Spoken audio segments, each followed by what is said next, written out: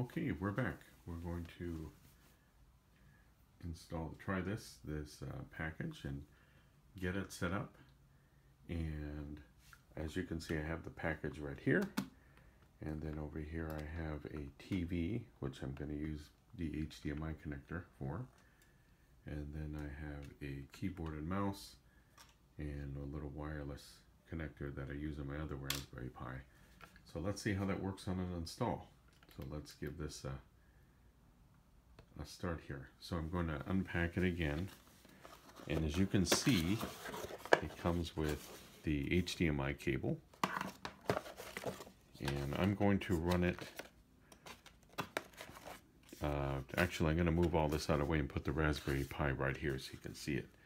This is the power supply. So we're going to get this ready here. Here's the power supply. And next we will, this is the case for the Raspberry Pi and the reader.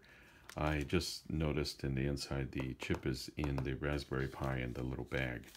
So this is the other parts that came with this. So here's the Raspberry Pi itself, which we already went through this in the unboxing video. And so you can see it, I'm going to put it right here.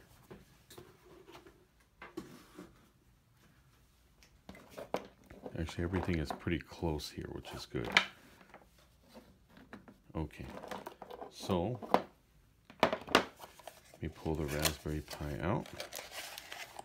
Here's the Raspberry Pi right here.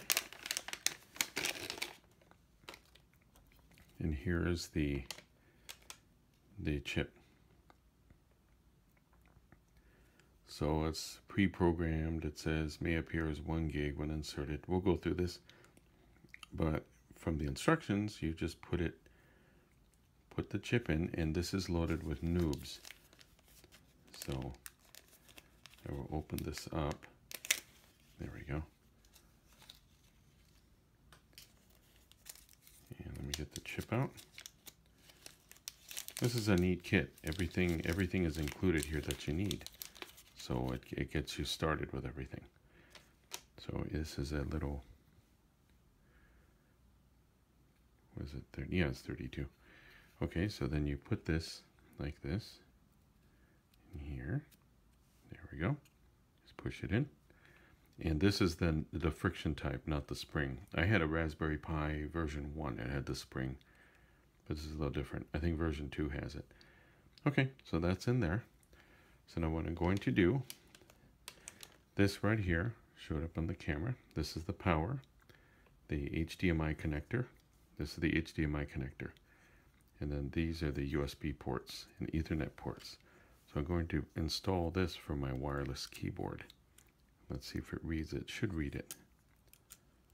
There we go. Okay, so that's there.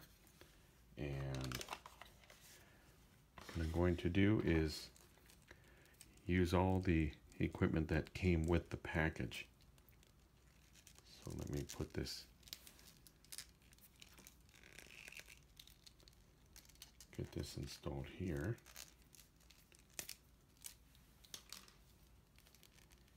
Kind of convenient, just I'm just using a TV, so it's not a special monitor. And I will move the camera over so you can see the screen. That's the most important part, so you can see what's going on. Then you put this right here. There we go. Now I'm inserting this into the HDMI connector in the television.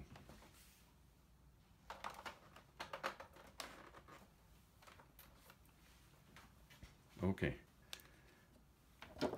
And the power is being plugged in right here. Just making sure we have power here. I'm going to undo this also.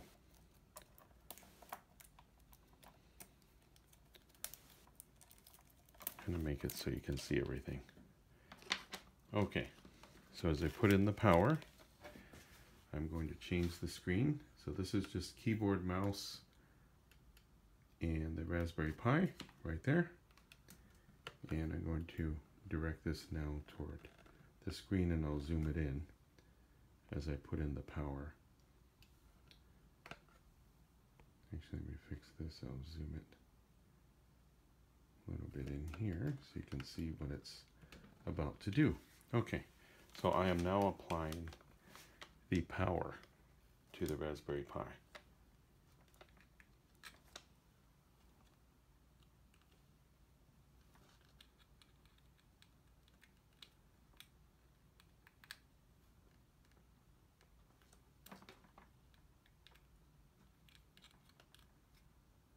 There we go.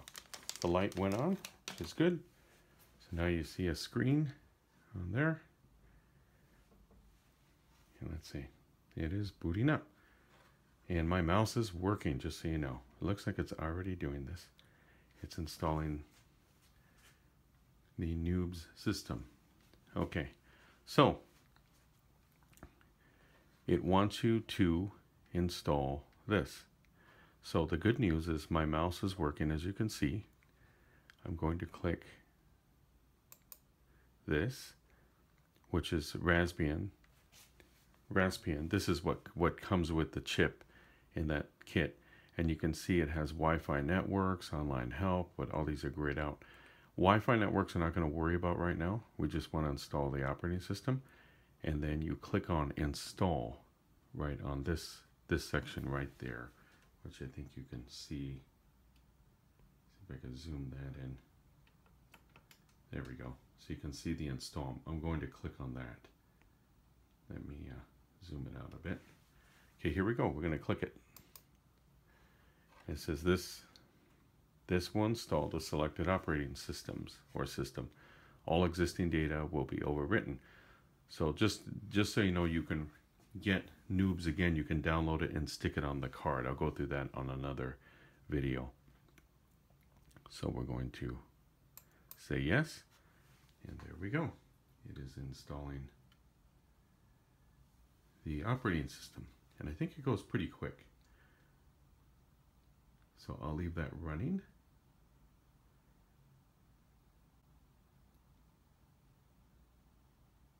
And you can watch it install.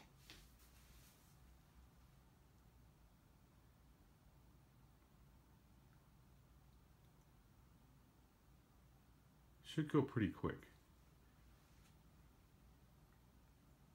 The boot up time is amazing on these little devices when you boot it up. And the other thing I love about it is the the low power that it uses. It uses very, very little power. There we go. You can see it moving. 55 meg, 75. Yeah, it's moving. I will do another video on erase the card that that's the other thing. You can erase the card, start over again. You can fix things. But I just wanted to do this stock with what comes out of the box. So I'm just going to do it to it installs. You can see the desktop and I'll do another video where I get it from the internet, the internet and stick it on the card and then we can run another install. So it looks good. It's doing its install.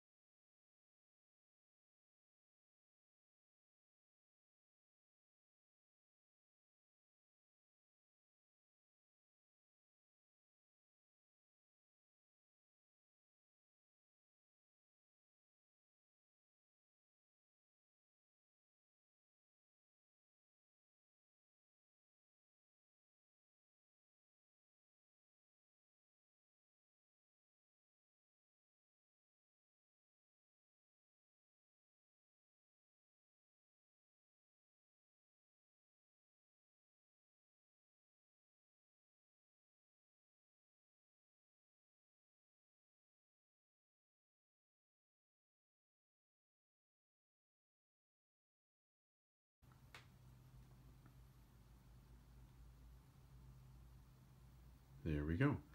So it says that the OS was installed successfully. So let's hit OK.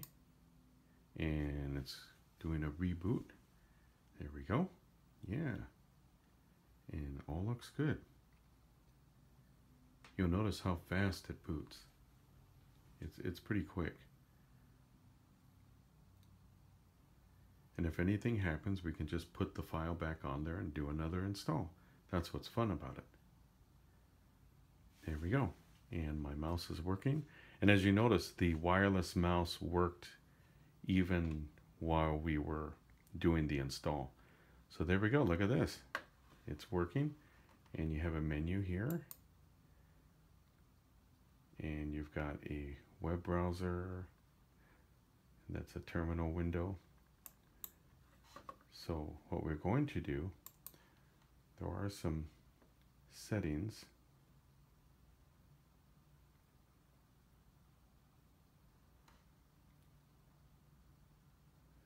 You want Raspberry Pi configuration. I'll show you what this does.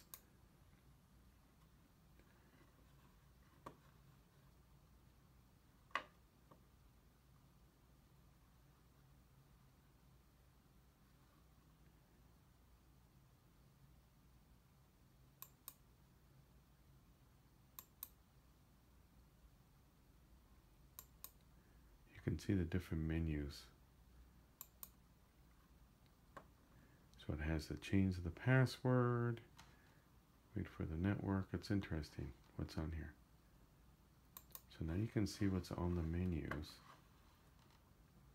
But that is basically how everything runs. You can add remove software, appearance settings, main menu editor. So now you can kind of get an idea of what it actually installs. And we will go through more configuration on here. Even I'm just running through the menus so you can see what's on the menus. This one came with LibreOffice.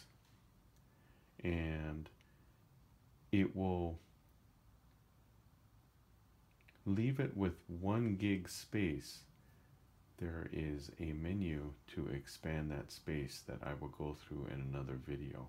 You can do it with command line or you can do it from the menu. We will go through that on the next on the next video. And programming that comes with all these programs. Python, we'll go through that. And I'm going to go through another video which shows how you how you can program those GPIO pins to turn on LEDs, relays, and, and lots of fun activity. Well, there you go. Now I am going to go to the menu right here where it says shut down. And you can see the menu here where it says shut down and I'm going to shut it down. And let's see. And that is it. It is off. Thanks for watching.